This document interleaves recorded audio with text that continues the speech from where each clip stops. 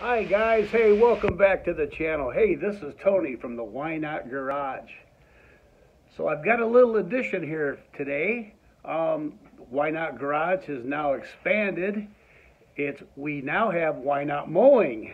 So um, anyway, I'm retired from construction, so I wanted to pick up a little bit of a side job to do, a little fun thing to do on the side. So um, decided to start myself up a little small little mowing uh, company, little service to do, pick up about, you know, 12 to 15 lawns, and um, uh, seems to be going pretty good right now. This is the beginning of the season. I've got a few accounts already booked ahead of time now for the summer. Hopefully get a few more, uh, get things rolling pretty good.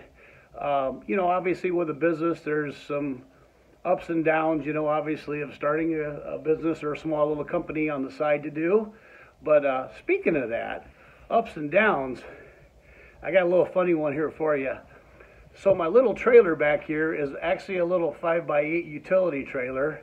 And um, I put some bigger tires on it because I have to drive, you know, a little bit out of town here and there. So I didn't want to use a small little factory tires. So I ended up picking up a set of 15s to put on my trailer.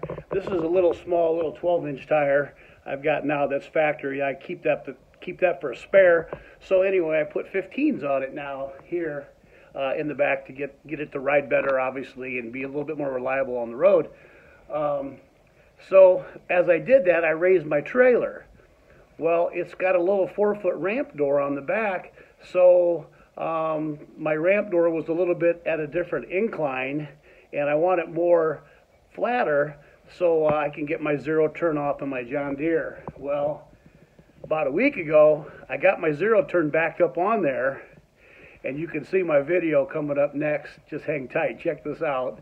Um, I got my zero turn up on there, and I backed it up, and backed it up, put it on the trailer, and I went to go drive it off forward, and it was too steep, and uh, well, I kind of panicked and had to have my son come over and get it off. He's a heavy machine operator and drives a lot of equipment and stuff. So he come over and, and looked and laughed at me.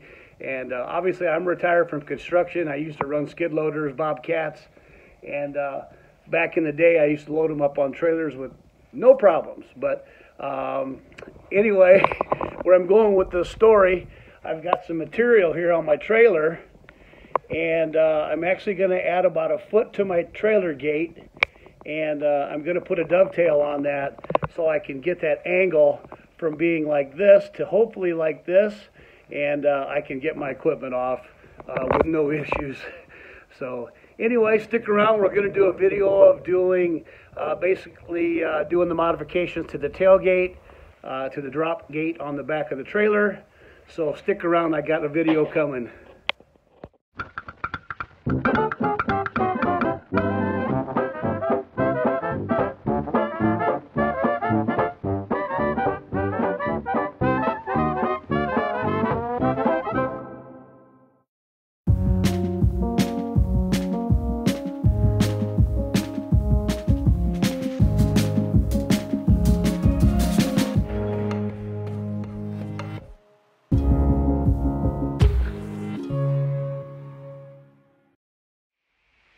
Good morning, guys. Hey, Monday morning here.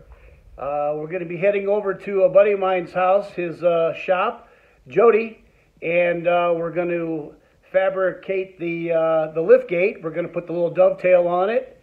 So uh, just closing up the Ynot garage here, and uh, we're going to be heading over to Jody's house and get this taken care of today. Whoa, what a beautiful day today little chilly, but a lot of sun. And uh, so anyway, got the truck ready to go, got the trailer all loaded up, and we're heading that way, so stick around.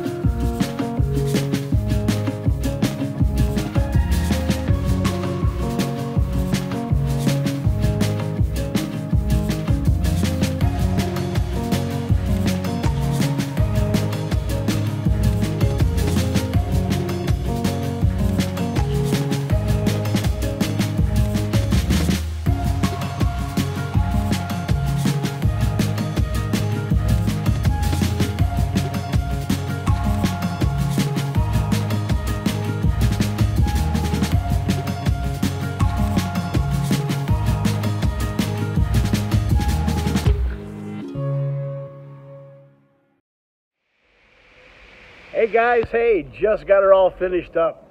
Um, got it all painted, used some industrial black paint on it, and uh, got my little logo sign made for my lawn business, which I really like it. It turned out very good. Want to give a shout out to my buddy Jody. He did one heck of a job with this.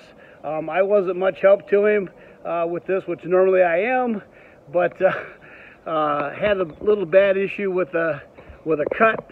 Uh, the little uh, grading up here on this is very sharp, so I was handing it over to him and uh, I was taking it back. And as I took it back, um, I took it myself, carried it, which it wasn't very heavy, and it slipped in my hands. I wasn't wearing gloves, uh, so I probably should have got stitches. And uh, so I worked the rest of the day with a band aid on it. But anyway, like I say, uh, stick around. I'll show you the pics of my finger. Uh, if you've made it this far in the channel, uh, like and subscribe. I appreciate you hanging out, checking out what we did. Um, I haven't drove my zero turn up on it yet, but I know it's going to be wonderful. So stick around. I'll show you some pics of it.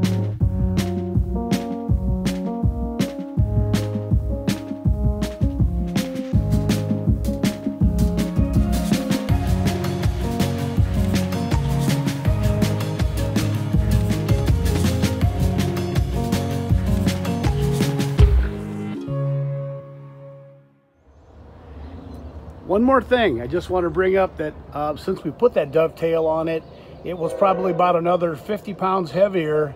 Uh, you know, obviously when we put everything all together, excuse the train in the background. um, so we ended up putting some garage door springs on it, some 160 pounders. And I'll tell you what, that sure lightened the load up. So very easy to pick up now. Um, and that really, really did the trick. So if you guys are uh, have never used garage door springs on it, they work pretty good and it's actually a cheap way of doing it.